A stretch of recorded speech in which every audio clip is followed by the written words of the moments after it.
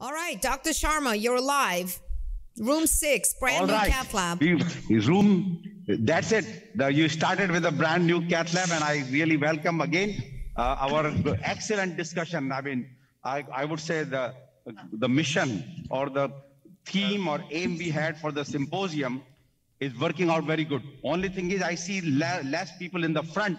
I saw when I left, a lot of people in the back. They should come in the front and uh, enjoy uh, and take the advantage of all the live cases and so. So with that note, we show the case number four is a 78 year old patient who had a cabbage before and then was presented to outside hospital with chest pain and had a leave, the RIMA to the RCA or OM was occluded and they worked on the native the left main to uh, OM or circumflex, which I am going to show, and try to open it.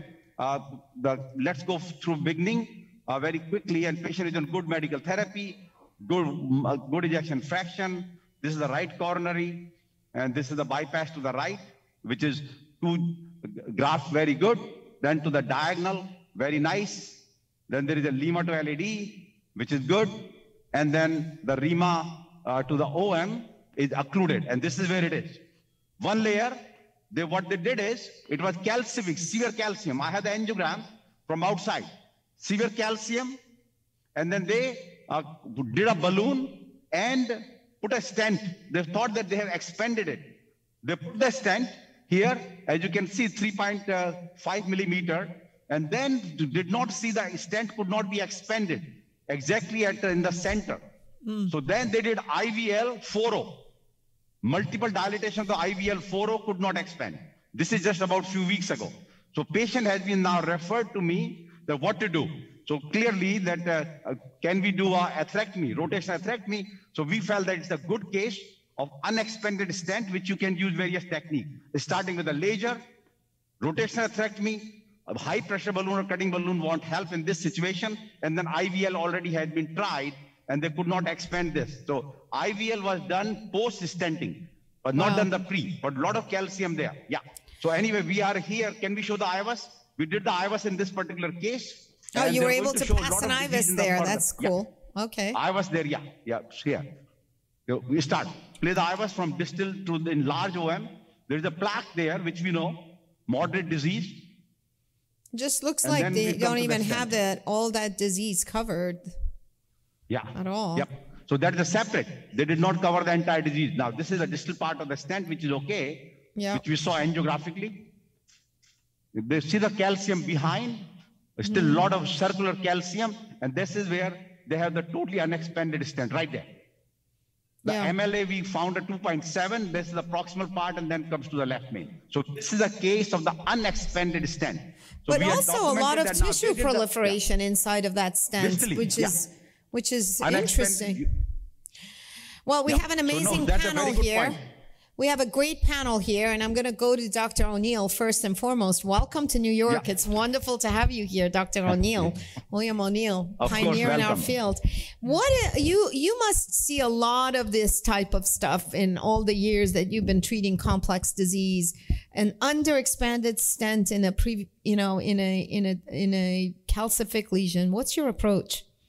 The, uh, the vessel lumen itself is actually relatively large. So for vessels that are sort of less than two millimeters, we try to actually uh, burr out by using rotational atherectomy to really kind of remove them. And I think it causes microfracture, so that allows expansion. I- I would be really curious in this setting whether or not a shockwave would actually work to try to uh, micro. I can't hear fully. Calcium on the outside. It looks like it's something they did after they stented when they recognized that this was a issue, and it looks like they didn't get anywhere. Dr. Nicholson, uh, what's your approach here? What would be your approach? Yeah, thanks. Uh, you know, I mean, I think you really have two choices in these scenarios. I think uh, coring it out with a larger and larger rotoburr would be one option, and then uh, this is one of the places I think uh, laser is very helpful with a 1.4 laser with max fluency, max frequency. Oftentimes, you need to augment with contrast injections to get the cavitary kind of uh, explosions that you need, but it, I find that to be very effective in these scenarios. It- it- all the treatments, if you did with a tris- Tripsy as well, And I'm curious what Dr. Sharma is going to do. I mean, all of them basically take the polymer off the stent. So you Yeah. converted it to a bare metal stent. So Uh, I don't know what Before we go to Dr. Sharma, I just want to hear Dr. Colombo's uh, approach to this. I know that you have Yeah. treated this a lot. Dr. Colombo? If, uh, if you can uh, afford the laser with contrast injection, is really nice. I assume lithotripsy was already used, and if they size the balloon correctly, I would not use it again. uh, If it was done correctly, rotablation is a is a good uh, possibility, but you need a big burr because the lumen, the residual lumen, is large. Uh, in Europe, uh, the most practical is a very high pressure balloon. yeah, I've seen you do that. We have cases. balloons from SIS Medical, they yeah. go to 44 atmosphere. Yeah, that's a little Uh, What you need is to be precise and not to under to oversize. Otherwise, uh, you have to go to the Draco to the cover stent. But uh, if these uh, are a little bit undersized, uh, you can go to 44, and uh, most of the time you succeed. Yeah, so we have a 50 50, I think, vote for laser and rotational atherectomy. Uh, I don't know. I'm, I don't. I don't really like that high pressure balloon. I, I get nervous, but I've seen you do it, Dr. Colombo. So what's your what's your approach? but, I saw. but I remember think it's that high pressure, that uh, that high pre- that high pressure balloon, uh, Roxana, that open NC is is a double layer balloon, not available in America yet. Yeah. It's many places outside. Uh, there's used for that purpose. So let me just go through, knowing that we had other interesting case. So here, what we did is uh, we had eight French guide, and we did this is IVUS which we showed, and then we, we used a 2 burr. So we are here now after the 2 burr, and this is a picture after 2 burr.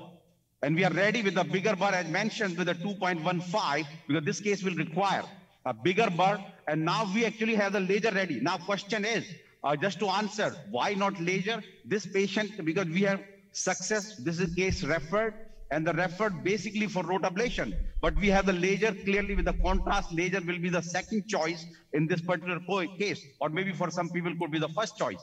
So we had done a 2 burr. Now we are going with a 2.15 with my associate Parasuram here, and we have two fellows, uh, Twinkle and Jonathan. So all, and of course, rest of my cath lab staff, all ready to 2.15. Now, biggest question here will be that burr can get stuck, stored in this unexpanded stent. Very common. So have to be very, very careful. And if we cannot even go completely, which is okay, because you can just go inside and people ask, are you going to ablate the stent? You have to pull a little more harder. No? Yeah, 2.15, you know the guide. Yeah, good. So we are okay. So why? So key is that even you don't go completely. I know there are enough data now. They have seen that once you stent get ablated because you see the microparticles in, in, v, in vitro and otherwise also by the OCT after the rotablation. So you really create a cracks or, you know, my, of course, the, uh, that part, the polymer is all gone. And so, so here with the 2.15, we'll be very careful. We want to make sure we do our three things back and forth here uh, at the level at the Y connector and a tap on the Dynaglide, which nothing happened. Now we are ready with a 2.15 burr. How did the 2 burr go when you were going with the 2 Okay. It was a little tough. It took, uh, took us about uh, uh, four runs. Okay. Each run is about 20 seconds, but same. The key is careful, don't go. Now, many times we have seen your bird does not traverse, but what it does, it heats up the metal. And then your subsequent balloon dilatation opens it up. And I want to keep it within the stent only and 20 second ablation. Same. Uh, the, our the CVT will tell us that it's more than 20 seconds. We are main, looking at the blood pressure. Nurses automatically give neosynephrine. Once it goes down to in uh, less than 100 systolic pressure, here we need a little push. Uh, and uh, blood, they should be showing the hemodynamics one side also. Yeah. What's Pressure is the back up. RPM you're Uh, choosing for these? Yeah, 150. Right now, 150. Uh, if need to go to further, we'll go further. Okay, But so you start our a little goal bit is that if you eight times, yeah, yeah, yeah, 150. Most of the our procedures are done with a 150. You know the Rota Oh, Pro. you just went through. Yeah, yeah, yeah. The Rota Pro, uh, I actually uh, had a lot to do design. So now, when you start your rotablation, you have the the actually you start with 155. So you can increase or decrease, but company makes, a- it comes as a marketed with a 155 speed, which can, as I said, increase or decrease. So now we are done the rotablation, we'll put a wire side by side and go to the high pressure balloon, uh, 40, we have, Yeah, we yeah. yeah, uh, no, no, eight. We need short, Oh, we have a four. Yeah. Right now we need a short. Then, 3.5 or 4.0. Remember, cannot have the long balloon. You need to expand short balloon, knowing that we don't have an open NC, which Colombo spoke about, uh, which can go to 40 atmosphere and so. Huh? So you'll take a non-compliant short balloon trying to really Short push balloon. it out. that area, yeah. Because remember, even you go and magnify. So if you see, it was just that area. Now actually you see a little bit of expansion, although people say maybe imagination, but most of the time I don't think that the rotablation ablate the stent. What it does basically uh, is it may the, heat it up. Your subsequent balloon dilatation will then expand now we are 408 NC ready. I am still going to leave the rota wire just to get that extra mileage. And if not, we have outside the laser ready because we have next another case in the afternoon. We have Yeah. an excimer laser case. Yeah. So, So- if this is the case where if this fails, So do you want us to go to the other room or you want us to watch this? I'd love but to see how say- this No, expands. but watch the, if it open, yeah, yeah, exactly. Once it is open, then we're just going to re-stent it uh, because it's a single layer. It would have been double layer, then we do IVBT, but this is a single layer. Uh, we are going to just re-stent it, and of course we'll cover the distal moderate lesion also because we saw on the IVUS, A lot of plaque. Well, I mean, I'm hoping that in the is it. case of an Okay. underexpanded stent that a restenting should, should do, or maybe negative. even, maybe even a good balloon dilatation, but I saw a lot of tissue inside of the stent. No, I but- think you require Yeah, another so, yeah, stent. go up. No, but one, and of course, we have taken away all the coverings and we have, in- see, we have to go slow. So no matter what you do, you get a 3 cutting balloon also, although in, in the stent, it is I not think going a to work cutting now, balloon would be but we'll go very- slow. I, I was gonna ask him next, the cutting balloon. Yeah, trio oh Yeah. cutting balloon. Yeah, we are getting a four. Oh. atmosphere. 22 atmosphere. Yeah, right. So we are, and otherwise also your balloons, when this happens, you go slowly. Keep going. One second. Negative, no. No, yeah. Yeah, so did not, moved out. Three, four oh. You are three oh, give me three oh right now, and then bring a four oh also. Okay, again, then give a four oh. This is a big case. Yeah, go up again, slowly. So that vessel, what was the kiski? What was the vessel size? Four oh. Yeah, it's a very big vessel. No, didn't expand yet. Negative. We need to go a little proximal, which is here.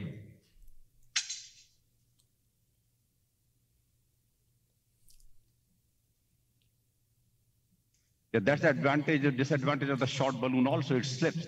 Yep. Keep going. The watermelon seeding is also the disadvantage Yeah. of a shorter balloon, but Yeah. it does give Yeah. you that better direct pressure. Negative, yeah. So I think it's looking a little better. Let me just pull back here. Yeah, good. And we'll do the IVUS run uh, later also, make sure IVUS is clean. I know we've asked about uh, imaging and so, yeah, you know, that's okay. Uh, yes, a lot of IVUSs, we do it. Uh, we do it more as a part of the symposium. Uh, and I know that a lot of uh, uh, fanatics will do uh, multiple IVUSs between various things, but that's okay. That's a different strategy. Negative. But as long as whatever it does, you get a good results, that's what it matters. You go again. I think we opened it up now. Yeah. I think it expanded now. 10, 12, 14, 16, 18, 20, 24. I'm still not convinced that it's expanded. I still see a little dog boning effect there in the middle. Yeah, yep, yep, negative. But I think you- now, no matter what you do, you'll not be able to take away the complete dog bone as long as we can get a good lumen, about, about six millimeters square, uh, and so post. But I think this definitely has opened up. Uh, we'll try to see if, negative. Let's take a picture and then we decide. Uh, that we have a 4 uh, cutter open, uh, Wolverine. This can come out anyway. Yeah, I'd like to see the 4.0 cutter there. Okay. I still don't think you're fully expanded. What what does everyone else think? Um, you guys feel satisfied, or you No, want no. to see imaging and See the picture. No, it is not expanded. Yeah. IVUS? Everybody wants to see the IVUS. Yeah. Okay. But let's see first. If it opened up a little bit, then only go. Oh, Yeah. it Definitely has opened up. Yeah. Yeah, good. Let's do a cutter and then we do IVUS and then you can go to other room. So let's become a simple. This is the case just to highlight. No, I think you got it, but I, now you could see the distal lesion better. that needs to be covered now with the new stent. Yeah, no, yeah. But I, at least the stent has been expanded now, and we are going to do 4O quickly and then do the IVUS, and that is it. So you see the expansion, we know exactly what it is uh, beforehand and now. Now, question is to Colombo. I know he was very uh, big on this using a cutting balloon, but question is how will the cutting balloon work now when there is already a stent?